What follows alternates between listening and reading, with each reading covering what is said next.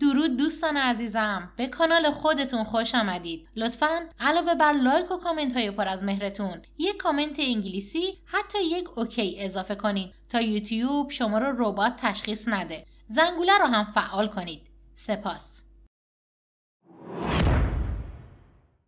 روزی روزگاری مفهوم با غیرت بازی کردن وارد فوتبال ما شد و شد جایگزین همه نداشتنهای ما جایگزین همه آن چیزهایی که لازمه یک فوتبال روزآمد و سرآمد بود. تصور می‌کردیم با نظام باشگاهی ضعیف فساد در انتخاب بازیکن و مربی نظام تأمین مالی وابسته به دولت باز هم می‌تونیم تیمی داشته باشیم که نه تنها در آسیا مطرح باشه بلکه به جام جهانی برسیم و غیرتی شدن شاه کلیدیه که می‌تونه جبران همه آن کاستی ها رو بکنه. ای کاش می‌کرد اما نکرد. سالها گذشت و ما به جام جهانی نرفتیم و جام جهانی بدون ما برگزار شد. اما ما از مفهوم غیرتی شدن بازیکنان دست نکشیدیم. غیرتی شدن برایند و راه گریز از ساختار سیستم ناقصه. چون ساختار سیستم سالم نداریم دنبال غیرت میگردیم.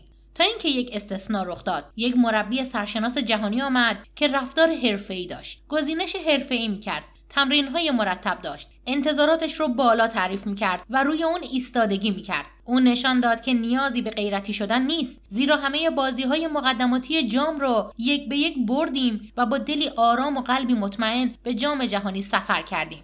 در جام جهانی جانانه جنگیدیم و اگرچه که باختیم اما خوشحال و سرفراز بودیم که اقلا بازی خوبی از خودمون به نمایش گذاشتیم. سالهای سال از صعود ما در ملبورن استرالیا گذشت. اما شرایط غیرتی بازی کردن برای صعود به جام جهانی دست از سر ملت ما بر نمیداره. هنوز به تکماده و پاس کردن ناپلئونی امیدواریم. هنوز باور نداریم که پیروزی آخرین حلقه از زنجیریه که همه حلقه هاش درست کار کنه. هنوز باور نداریم که موفقیت اتفاقی نیست بلکه یک قاعده است. موفقیت مرهون برنامه ریزی درست تلاش و کوشش پایش و اصلاحه. ما در جنگ تحمیلی مردانه و شجاعانه بیشترین غیرت ها رو نشان دادیم و عزیزان زیادی رو از دست دادیم که جانشان را در کف دستشون گذاشتن. اما نهایتا جنگ تحمیلی با برد ما تمام نشد مساوی تمام شد. میشه از نبرد هشت ساله از حماسه ملبورن و از هزاران مثال دیگر درس گرفت. که توسعه اتفاقی نیست. ممکنه برخی موفقیت های موردی شانسی و اتفاقی باشه اما توسعه زنجیره ای از دستاوردهاست که حاصل تفکر،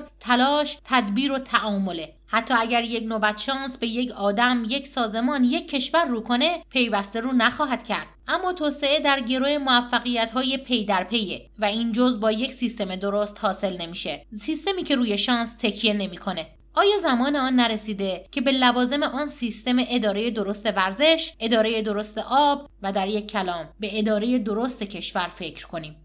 دوستان امیدوار بودن که آقا وزارت بهداشت قبل از اینکه تو انتخابات بود دیگه. این و این دولت بره اون دولت بیاد. ببینین اصلا وزارت بهداشت تابعیتی از دولت نمی‌کنه دیگه. فرقی نمی‌کنه که مثلا چپ بیاد راست بیاد معتدل بیاد هیچ فرقی نخواهد کردش دیگه. متاسفانه مافیای سیستم پزشک در تمام دولت ها چه راست و چپ تر بحث جیب منافعشون همه با هم کنار میان دیگه. رئیس بسیج میگه به زودی شاهد یک ابر تحول بزرگ دیگر در قرن پانزدهم خواهیم بود. در قرن 14 هجری شمسی شاهد تحقق یک تحول بزرگ بودیم و در سایه تحقق آن تحول بزرگ که می‌توان از آن به عنوان یک ابر تحول نام برد پیروزی انقلاب اسلامی و استقرار نظام مقدس جمهوری اسلامی اتفاق افتاد. این خائن به وطن اضافه کرده. اکنون در گام دوم انقلاب اسلامی قرار گرفتیم و این گام مصادف با آغاز قرن پانزدهم هجری شمسیه و سخن اینه که ما به زودی شاهد یک ابر تحول بزرگ دیگر در قرن پانزدهم هجری شمسی خواهیم بود. آن چیزی که امام راحل فرمودند قرن آینده از آن اسلام خواهد بود. اسلام سنگرهای کلیدی جهان رو یکی پس از دیگری فتح خواهد کرد و فتح قرن 15 هجری شمسی تمدن سازی جهان اسلامه.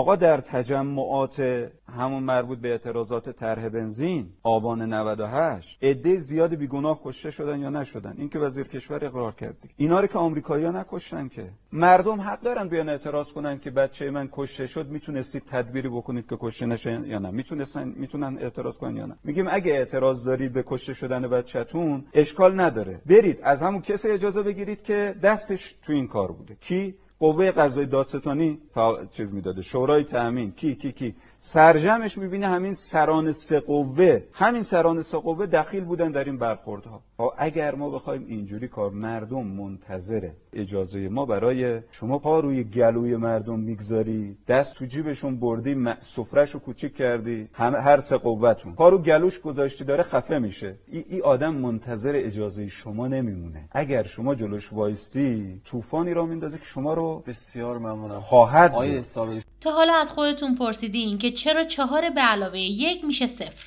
هیئت چهل نفره مذاکره کننده ایرانی باید یک ریاضیدان سیاست خانده در سطح سواد استاد دکتر محمود سریع القلم هم با خود می بردن که تحلیل کنه که چرا جمع چهار کشور فرانسه و انگلستان و چین و روسیه به اضافه آلمان حاصلش عدد صفره. خواهید گفت این عمل رو بچه های کودکستان و دبستان نیک می‌دونن. ممکنه اینا متوجه نباشن؟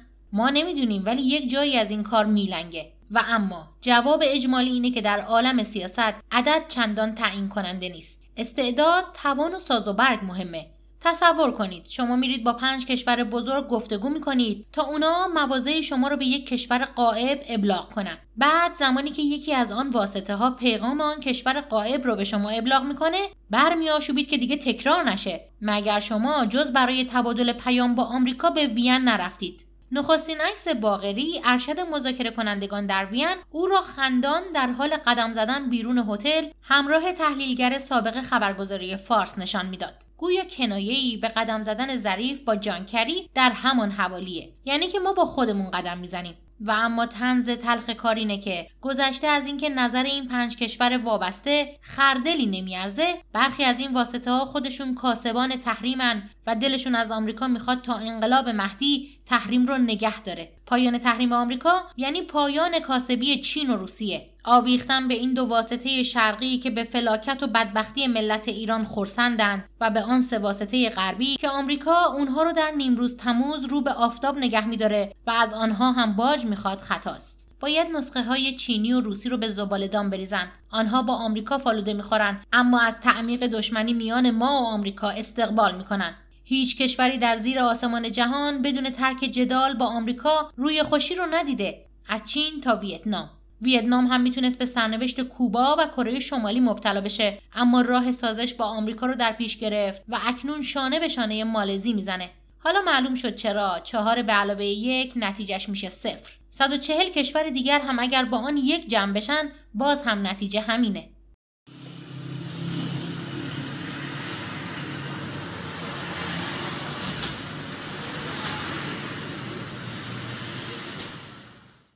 ذات بد نیکو نگردد چون که بنیادش بد است. خرید متفاوت یک روحانی از سوپرمارکت.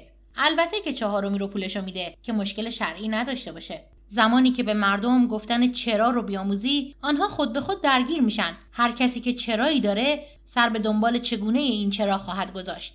بدون چرا هرگز به چگونه نمی‌رسی؟ به مردم کوچه و بازار به روستاییان به کارگران و کارمندان بیاموزید که بپرسند. چرا ملتی که این همه ثروت داره باید از فقیرترین، درمانده ترین و سرفکنده ترین ملت های جهان باشه؟ چرا ملتی که چند هزار سال پیشینه فرهنگی داره باید در بیفرهنگی و بیدانشی دست و پا بزنه؟ چرا ملتی که در طول تاریخ همیشه مظهر هوشمندی، تهارت، مبارزه و ایمان بوده امروز به ملتی جاهل، ناپاک، ترسان از مبارزه و بی ایمان مبدل شده؟ چرا مردم شهری ما باید راه حل مشکلاتشون رو در باج گرفتن و دادن در نادرست و دروغگو بودن در ریاکاری و رشوهخواری ببینن؟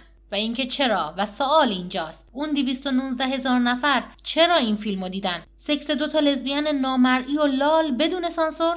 چی قرار بوده ببینن؟ بهترین ها رو برای تک تکتون آرزو دارم. روز و روزگارتون خوش.